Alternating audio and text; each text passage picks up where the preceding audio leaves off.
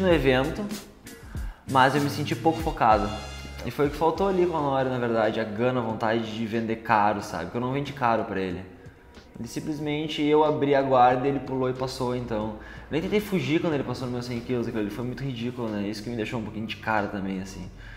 Mas eu acho que tá um pouco mais dentro do evento, né? Eu vou tentar entrar um pouco mais dentro do, do campeonato hoje, 100% presente ali, né? E eu preciso conseguir resgatar isso hoje e eu vou conseguir, eu vou conseguir porque eu acho que eu vou conseguir.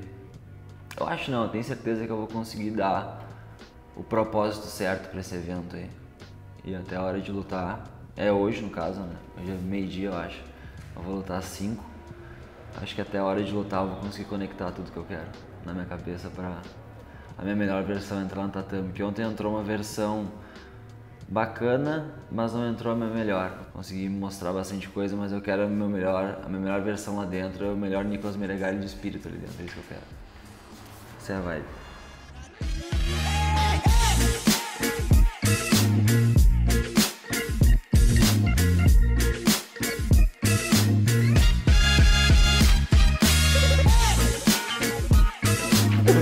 Ah, isso foi foda. Isso foi bem foda.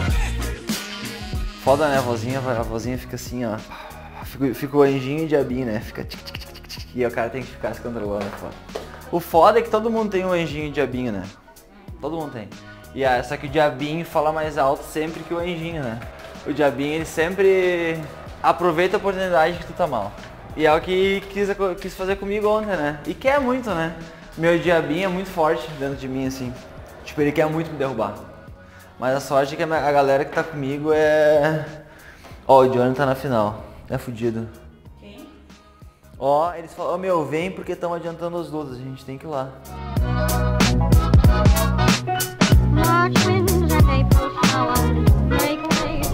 Foda, galera, eu tô recebendo um monte de mensagem motivacional, sabe? Tipo, é, da galera, assim, dos meus amigos, né? Que eles Acho que eu fiquei triste, assim, tipo, eu tô, eu tô. Eu não queria ter perdido, né? Mas eu também não tô me sentindo mal, assim. Tipo, agora eu recebi uma mensagem que apareceu, irmão, tá foda, não sei o que, pá. E tipo, é legal porque eu sei que eu tô rodeado de amigos, sabe? Não é tipo rodeado de pessoas que babam o meu ovo, assim. Tipo, isso é uma coisa que até que eu falei com o Mário ontem, falei pra ti mais cedo ali. Tipo, eu perdi e um monte de gente me mandou mensagem, sabe? Fiquei terceiro absoluto, é um puta currículo, né? Não dá pra menosprezar. Mas eu, eu sei que eu poderia ter sido campeão, né? E um monte de gente mandou mensagem, assim, tipo, motivando. Isso é do caralho, porque mostra que tu não tá sozinho e não é o título que vai te fazer uma pessoa diferente, né? Quando eu ganhei o Mundial do ano passado, meu Instagram quase explodiu, velho. Tipo, eu demorei uma semana para responder todo mundo. Um monte de gente mandando mensagem, tu é foda, meu irmão, meu brother, tamo junto. Tipo, é uma parada foda, né? Quando tu tá por cima assim, todo mundo quer se abraçar em ti. Mas quando tu cai, não sobra ninguém, né? Ninguém desse tipo de gente, né? No caso, pessoas que estão contigo pelo que tu ganha, né? E não pelo que tu é.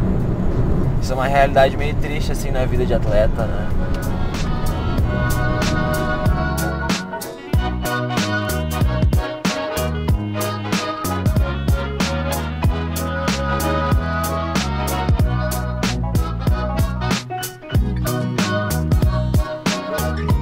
O meu diabinho ali fala. Fala 4, 5 idiomas diferentes. Ali é foda. Ali ele fica tipo me atucanando bizarro, né? Eu acho que esse é meu maior teste numa competição, né? Eu conseguir silenciar minha cabeça, né? Porque ela fala pra caralho. Bah, minha cabeça tenta me destruir o tempo inteiro. E eu fico ali na área de concentração, sabe, ouvindo o diabinho falar que eu tô com a pegada cansada, que meu corpo não tá preparado, que eu tô fraco. E aí a minha cabeça, meu anjinho, que é tudo que eu já trabalhei, ele fica, não, pô, tu trabalhou pra caralho, tu fez muita posição, tu fez preparação física, te alimentou bem. Aí fica aquela briga do positivo e do negativo, assim. E eu tento invocar a raiva também, né? No momento que eu tô ali. Porque a raiva é a gana que te impulsiona, né? E essa é a minha característica lutando, assim, particularmente. É, é a adrena que eu exalo quando eu vou lutar. E esse é o meu principal objetivo na área de concentração, colocar uma música que me gere isso também, né? É muito importante ter um playlist pra lutar. Tipo. O que, que você ouve? Cara, eu tenho um playlist de músicas que que me trazem recordações, assim, sabe? Recordações emocionais, tipo, tem algumas músicas que o Mário coloca no treino que me faz lembrar a sensação de treino. Tem músicas que eu coloco na hora que eu vou entrar para lutar no tatame, assim, que são as músicas que exalam mesmo energia pesada, porque a música tem vibração, né? Que é a tensão que passa, né? E ali na hora de lutar eu tento colocar alguma música que faz o meu. as minhas células pularem assim, sabe, de raiva, não pularem de alegria, tipo ouvir um Bruno Mars, uma coisa assim que vai me deixar contente, mas botar uma música que me gere adrenalina, sabe? Que me gere não um sentimento ruim, porque tem músicas que geram um sentimento ruim, mas um sentimento de, de tensão, assim, sabe?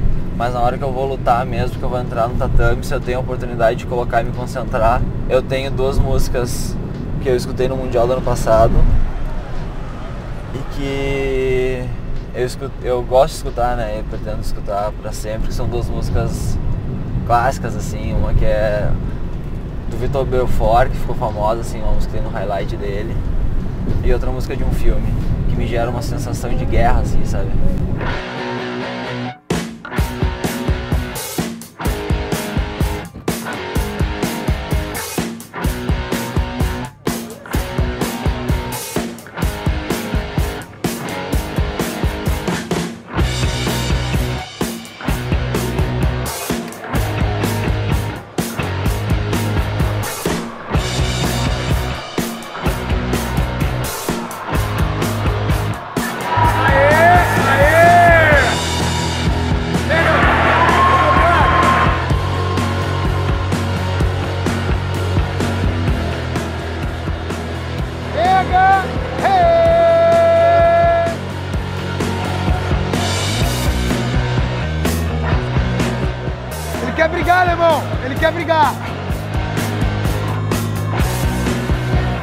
Aí tá no teu jogo, velho. Pega ele, alemão. Pega.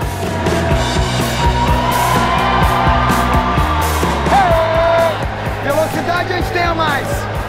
Aê, vamos passar. Vamos passar. Vamos estourar com o joelho. Vamos botar o giro agora 200 por hora. Vamos. Vai no gogó, gogó!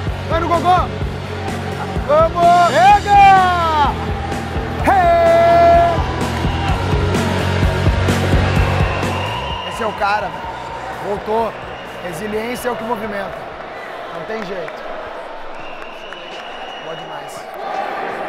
É o que eu te falei, negão. Quando é verdadeiro, te fudeu, fudeu.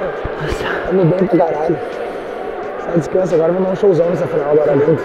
Tá? Bom. Dá um showzão pra essa galera. Vou dar. Vou dar um pra isso.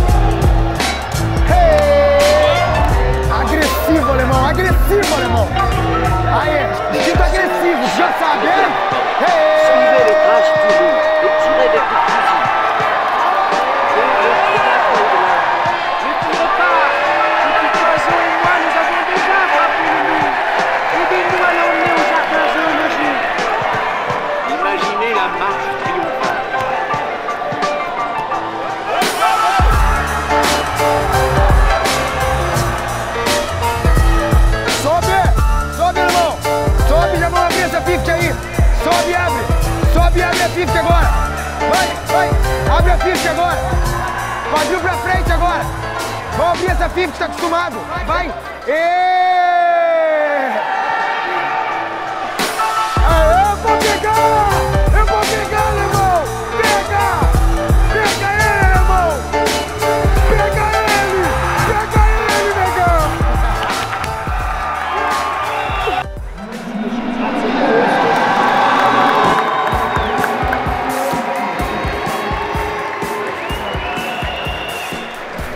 Demais, muito feliz. É isso aí quando ele, é, quando ele é quem ele realmente é, não tem como. Quando ele escuta o coração dele, ele sempre vai fazer isso. Sempre. Não.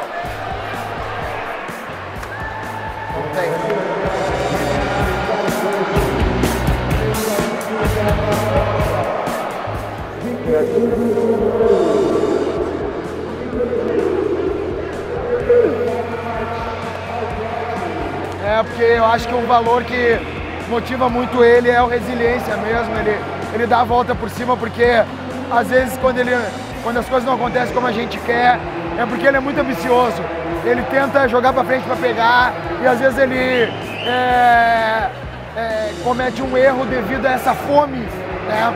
Mas eu acho que ele não pode perder esse valor genuíno que é dele, que é a natureza. Eu acho que se hoje a gente cometeu um erro, ontem no caso, foi pra gente aprender, porque eu tenho fé que ele vai ser um maior nome e inspiração do jiu-jitsu absoluto. É isso que eu acredito. Nicolas Menegado. Fala uma coisa? Fala aí.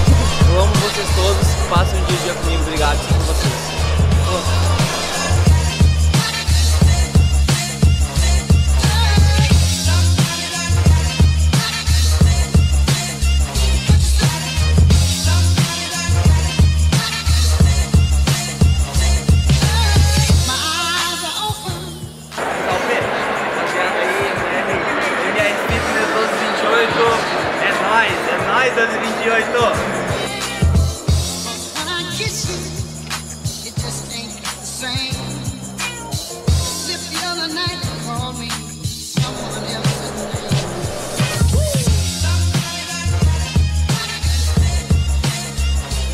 legal. Continuo sendo o melhor currículo da academia. ah, negão! Ah, negão!